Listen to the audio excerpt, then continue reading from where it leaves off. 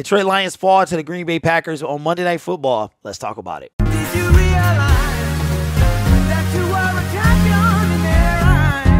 Hello, everyone. My name is Derek, and welcome back to the Gridiron Blitz. On this channel, we do predominantly Detroit Lions content with three live streams a week. So if you decide to subscribe, make sure you hit that notification bell, set it to personalized so you just get the content you want. And I want to take a moment to thank everybody for getting me to 18,000 subs. And it's amazing because I didn't have to buy a single one. So thank you guys so much. The Detroit Lions fall to the Green Bay Packers on Monday Night Football. Uh, my gut said we was gonna win. That came Friday morning.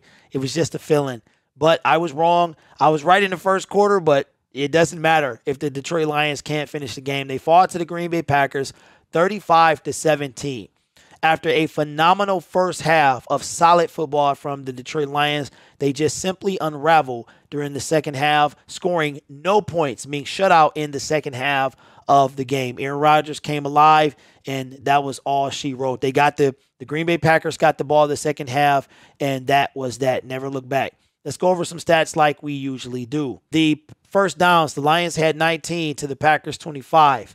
Uh, passing first downs, the Detroit Lions had 11 to the Packers 16. Rushing first downs, seven for the Lions, five for the Green Bay Packers. Seemed like more than that because the, the Packers were running all over the place. First downs from penalties, one for the Detroit Lions and four for the Green Bay Packers. The Detroit was a lot of penalties for them this evening. Third down efficiency. Detroit went four for nine. Packers went five for nine, so very close there. Fourth down. Detroit was 0 for 2 to the Green Bay Packers uh, zero for zero. They didn't even have to go for it. Total plays. The Detroit Lions run ran 84 last week. So they ran 28 less this week at 56 to the Green Bay Packers 61. Total yards. They outdid the Packers by 20 with 344 to 323 for the Packers. Total drives, nine.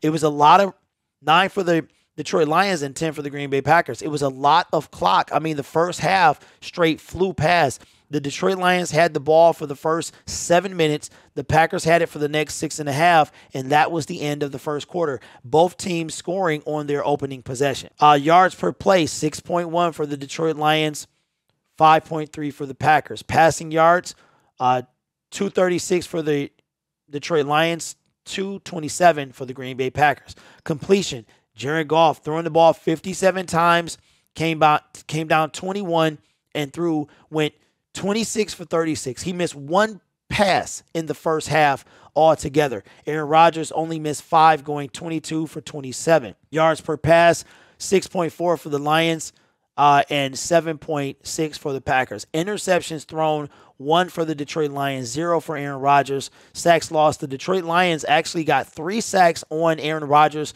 and they have six on the season.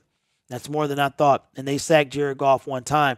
Rushing yards, 108 for the Lions to 96 for the Packers. It seems like more than that. Rushing attempts, 19 for the Detroit Lions, 31 for the Packers. Yards per rush, 5.7 for the Lions, 3.1 for the Packers. That is insane. And we still lost this game. Red zone, Detroit, both teams were perfect, going two for two for the Lions and four for four for the Green Bay Packers. Penalties murdered us. Was on a row, and then we had like three consecutive penalties in a row. Uh, we had nine penalties for 78 yards for five for the Green Bay Packers. Turnover two. We had a fumble lost by Jared Goff and an interception thrown.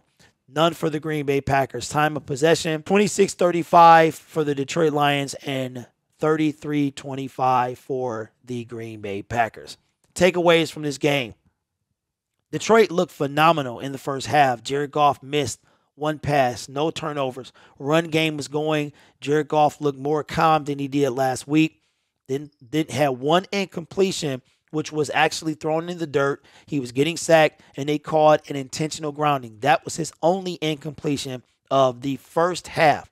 The run game solid at first uh, during that first half, and the Lions score on their opening drive and then the drive, uh, their third drive as well. It was back and forth, and they had the lead in these at the end of the se- of the first half. The game unraveled in the second half. The Packers got the ball back, and from that point on, the rain started, and the Packers ran ran away from it. Uh, the Detroit Lions got away from their run. The run was working. getting gashed up the middle. Jamaal Williams was having his way. D'Andre Swift was having his way as well with some some middle runs and being outside as well. And we got away from that where there was no need to. We did go down early in the second half to the Packers, but there was no need to get away from the run. We did it anyway. It wasn't like it was it was last week where we was so far behind we couldn't do anything but throw the ball. Not sure what happened there, but uh, I am disappointed in that. Jared Goff needs to be more after having a near perfect first half. He just needs to be more calm, more collected, and he needs to do be smarter with the ball. Okay, Quintez Cephus showed out, almost made the best catch I've ever seen uh, Odell Beckham like had he caught that that pass, but he showed up today. But we have a problem. The Detroit Lions have a problem now. I know a lot of you you guys might be hearing 10 and 6 or 10 and 7, 10 win team. We have a problem. TJ Hockenson was our leading two weeks in a row, our leading receiver. That is a problem. We have been telling you for weeks and for months that the Detroit Lions does not do not have a number one receiver. That my friends, is an issue. We got to get a number one. Trinity Benson, who we gave up two draft picks for next year, was in the game, one catch, 23 yards. He was in the game at the end. He's been here about three weeks or so. Got to get acclimated to the playbook. By week four or week five, this guy got to be started. Uh, shout out to our rookie, Melifonwu, came out with stride for stride with Davante Adams, popped a hammy, he might be out for a, a week or two. I, am not sure, but he he came in here. We did well not to have our number three overall pick in 2020 in the game. Defensive line stepped up. Trey Flowers with some pressure. Michael Brockers, Nick Williams, um, looking it. They looked improved. They still got a lot of work to do. Got it. We we pretty much bottled up the run, but we couldn't stop it. Like we couldn't really corral. It was bottled up. If you get what I'm saying, it seems like they had way more yards because Aaron Jones had some receiving yards as well. And in that first half, Aaron Aaron Rodgers just couldn't get going, and then he did, and that was it. So the Detroit Lions uh, got a lot of work to do. Uh, if you're if you're calling for Dan Campbell to be fired, stop it. This guy has a six year contract and at least a three year rebuild. We have to rebuild all the stuff that Bob Quinn and Matt Patricia tore down. Okay, so stop that nonsense. That is not a possibility. Okay, that is not going to happen. We have had the 32nd ranked defense or, or bottom five or bottom three for the last two years. We have some work to do. You have to be patient. And the last thing I'm going to say is that we have been covering this team for years. If we're telling you this is going to happen, we're we're we're not saying that we're right, but we're pretty spot on. So if you're hearing 10 wins, you need to just throw that out. Throw that out. The Lions are not going to win 10 games. Okay? It's not going to happen. So you got to take it one week at a time. Okay? Our schedule is absolutely brutal. Okay? So right now, let's just focus on the Baltimore Ravens. We got to take one game at a time.